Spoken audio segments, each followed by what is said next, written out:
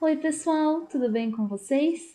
Hoje eu vim aqui mostrar um die super fácil e muito bonitinho, muito legal, de como eu faço esses barrados no pano de prato. Eu compro pano de prato super simples e para deixar ele ainda mais fofinho na minha cozinha, eu faço esse barradinho de tecido embaixo. Então a gente vai precisar somente de tecido de algodão coloridinho e de pano de prato. Eu já comprei ele pronto, com a bainha, tudo certinho. Eu comecei pegando o, o tecidinho colorido e medindo. Então, de altura, ele tem que ter no mínimo 15 centímetros. Eu gosto de fazer com 20. E na largura, eu deixo quatro dedos maior de cada lado, né? É, do que o pano de prato.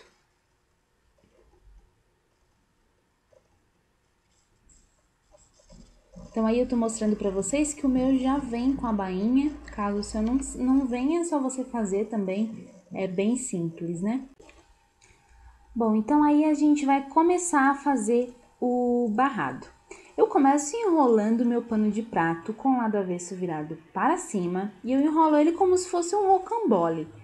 Eu enrolo ele todinho e eu deixo só a pontinha de fora, que é o que eu vou usar na minha costura. Então, vai ficar só essa pontinha da bainha aí, ó, para fora. E ele fica todo enroladinho.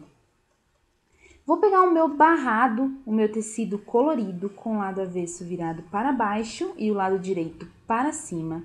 Vou medir bem certinho a pontinha do tecido com a bainha do meu pano enroladinho, né? E vou encapar esse meu paninho, né? O meu pano de prato. Então, vai ficar, ó, o lado direito do tecido colado com o pano de prato. As três pontas tem que estar tá bem certinha, gente, porque é onde a gente vai passar a costura. Então, tem que estar tá bem certinho, bem alinhado, que é para não ficar é, sem costurar um pedacinho do pano de prato e ficar um buraquinho no meio. Eu gosto de alfinetar que é para não correr o tecido na hora da costura, eu acho que fica muito mais fácil de costurar. Você também pode costurar na mão, tá? É só fazer ponto caseado, não tem problema algum, dá super certo. Nas laterais, você, é claro, passa um ponto mais, mais forte, né? Vários pontos no mesmo lugar, que daí é para dar um pouco mais de segurança e não correr.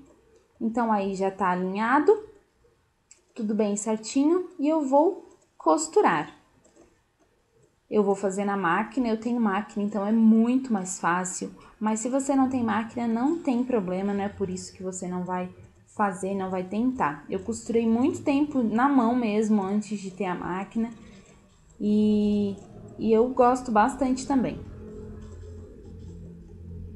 Ó, então ficou a costura bem na pontinha. Eu vou tirar e agora eu vou mostrar pra vocês como que eu vou tirar o meu pano de prato daí de dentro, né? Que parece que não vai sair. As laterais ficam abertas, ó. As duas laterais ficam abertas, então é só a gente puxar o pano de prato de dentro. Só puxar ele inteiro de dentro, super fácil.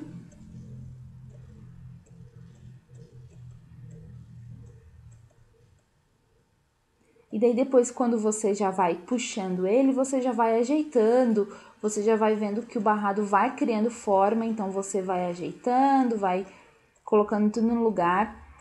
As beiradinhas, ó, eu vou colocar pra dentro, como se eu estivesse embalando. Eu vou colocar ela bem pra dentro. Se você quiser cortar um pouco do excesso, pode cortar, só que é claro, deixe uma margem pra costura da bainha. Então, eu vou colocar pra dentro, vou ajeitar com que fique bem retinho com a lateral do meu pano de prato. E daí, depois que tiver bem certinho, tudo bem alinhado, daí a gente vai passar uma costura bem retinha na lateral, seguindo, é claro, já a costura do pano de prato, porque daí fica um acabamento mais bonito. E eu vou fazer isso com os dois lados do meu pano de prato. Vou passar só a costura ali retinha para dar um acabamento melhor. E esse é o resultado, tá? Eu ferrei o pano de prato depois, passei o ferro e ficou super bonitinho. Ele já estava lavado, eu gosto de lavar antes de costurar os dois tecidos, o pano de prato e o tecido colorido. E é isso, eu espero muito que você tenha gostado, tá bom?